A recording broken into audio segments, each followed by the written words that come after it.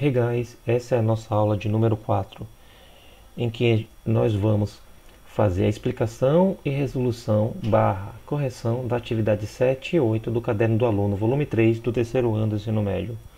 Então, essa atividade 7 ele diz o seguinte, é, na aula anterior eu havia passado a explicação dessa atividade 7 e 8 para que você pudesse fazer aí na sua casa é, e passei essas atividades como lição de casa. Então, se você tentou fazer, eu vou passar agora a é, explicação né, e, e correção. Então, vamos lá. Atividade 7. Identifique se a representação gráfica das funções a seguir é uma parábola, com a, com a concavidade direcionada para cima ou com a concavidade direcionada para baixo. Então, primeiramente, a gente precisa entender como é a estrutura de uma função de segundo grau. De segundo grau. Aqui é uma função de segundo grau, por quê? Porque o x está elevado ao quadrado, ao número 2. Então, esse 2 representa o quê? Que ela é de segundo grau, certo? Então, o que acontece? É, eu vou ter o seguinte, então. A estrutura básica de uma função de segundo grau é a seguinte. Vou escrever aqui em cima. Ó. É f de x igual a x quadrado mais bx mais C. Então, o que determina a concavidade da parábola é esse cara aqui, ó, é esse A. Então, vamos lá. A gente tem duas opções aqui com esse A. Vamos trabalhar com as duas opções. A primeira, se o A for maior que zero, significa que ele é positivo e a concavidade é voltada para cima. Se o A é menor que zero, Significa então que esse A é negativo e a concavidade é voltada para baixo. Então, o que vai determinar a, a concavidade, na direção da concavidade de, da parábola é esse A aqui, que está acompanhado de x ao quadrado. Então, se o A for maior que zero, concavidade para cima. Se o A for menor que zero, concavidade para baixo. Então, a partir de agora, a gente já é capaz de determinar a concavidade da as funções que ele deu aqui. Então vamos ver. Quem é o número que está acompanhado de x ao quadrado aqui? Ó, é o 3. Ele é o que? Ele é positivo. Se ele é positivo, ó, concavidade para cima. Letra A, esse aqui, g de x. g de x é igual a menos x ao quadrado mais 2x quadrado. Isso aqui tem um problema. Essa daqui é, não tem como a gente resolver assim de forma efetiva. Por quê? Porque a gente não sabe quem é o, o x ao quadrado aqui. A menos que a gente faça a, o somatório. A gente tem três possibilidades aqui para trabalhar essa questão aqui. Ó. Que a gente não sabe se foi um erro ou se foi assim mesmo. Bem, se foi assim mesmo, se é assim mesmo, então aqui dá para a gente resolver e fazer. Devo 1x quadrado, pago 2x quadrado, fico com x certo? Então isso daqui é 1, ele é positivo, ele é maior que zero, né? Está acompanhado de x ao quadrado, ele é maior que zero, então a concavidade é para cima. Então, essa é a possibilidade que a gente pode trabalhar. Né? Então, a gente tem menos 1x quadrado mais 2x quadrado. Então, devo 1x quadrado, pago 2x quadrado, e isso vai ser igual a 1x ao quadrado. Então, a concavidade é para cima. Então, a gente poderia aqui assumir, de acordo com o que está aqui, certo? a concavidade seria para cima. Por quê? Porque se, se não for isso, significa que houve aqui um erro de edição. E aí a gente não sabe dizer que se existe esse 2 aqui ou não. Se existe esse 2 aqui ou não. Então, nesse caso, a única opção que a gente tem é resolver isso daqui, porque aqui a gente consegue resolver, porque aqui está x ao quadrado, aqui está x ao quadrado. Então, eu copio a letra e o número. Então, fica o x e ao quadrado aqui. O que é que sobrou?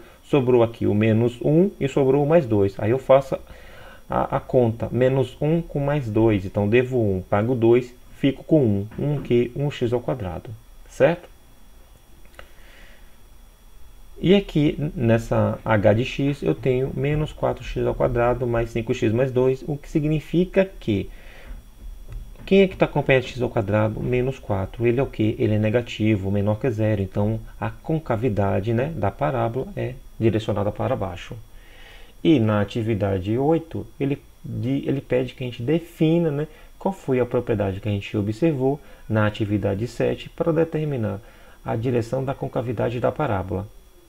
Então, o que a gente observou, a propriedade que a gente observou foi o A, em que se o A for maior que zero, a concavidade é voltada para cima. Se o A for menor que zero, a concavidade é direcionada para baixo. Então foi isso a propriedade que a gente observou para determinar a direção da concavidade da parábola, certo? Bem, então essa foi a nossa aula de hoje. Como lição de casa, eu vou deixar a atividade 9, certo?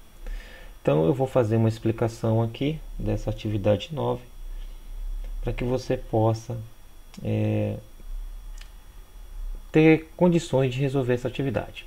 Então vamos lá.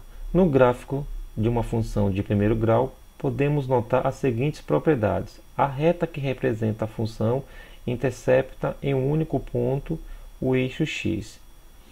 Aí ele diz: a reta que representa a função intercepta em um único ponto o eixo y. Deixa eu ver se tem mais coisa aqui para cima.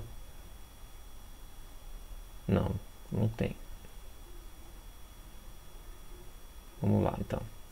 Então, dadas as equações de reta a seguir, encontre os pontos de, interse de intersecção nos eixos x e y. Então, aqui, ó, as funções são essas que estão aqui do lado, ó, essas aqui.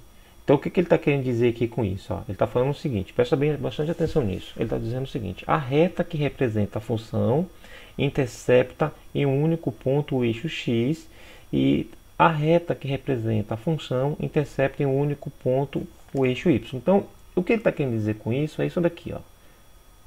Presta bastante atenção nisso. Vou fazer aqui um sistema.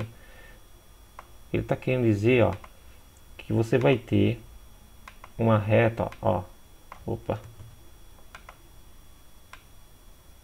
Ele vai ter, você vai ter uma reta em que você vai ter um ponto de intersecção aqui e um ponto de intersecção aqui. Então aqui ó, é o x e aqui vai ser o y.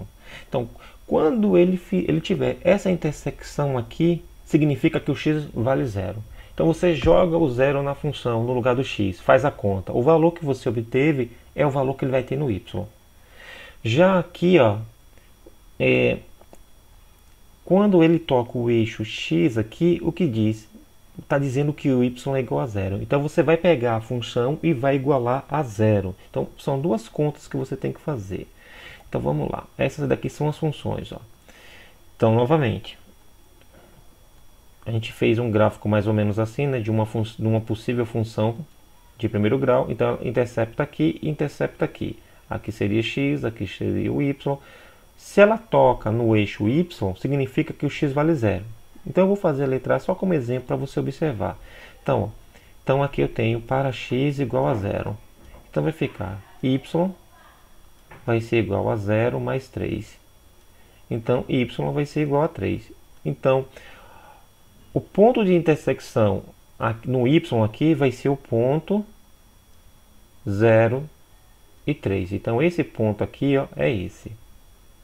Já esse outro aqui, ele está dizendo o seguinte, toda vez que ela toca no x, significa o quê? Que o y é zero. Então, você vai fazer uma outra conta aqui, que vai ser para y igual a zero. Então, para y igual a zero, o que você vai fazer? Você vai fazer x mais 3 igual a zero. Ó. No lugar desse y aqui, eu coloquei zero. Então, vai ficar x vai ser igual a zero, mais 3 vem para cá como menos 3. Então, x igual a 0 menos 3 continua menos 3. Então, o que significa? Esse ponto aqui, certo? É o ponto menos 3 e 0. É menos 3 em x, 0 em y, certo? Então você vai fazer isso para todas as alternativas. Para a letra A eu já fiz, né? Aí para a letra B você vai fazer essa conta, depois essa, só que usando essa função, lógico, né? Depois na letra C a mesma coisa, só que usando essa função. E na letra D a mesma coisa, só que usando essa função. Bem, se você não entendeu alguma coisa, poste nos comentários. Por hoje eu fico por aqui e foi.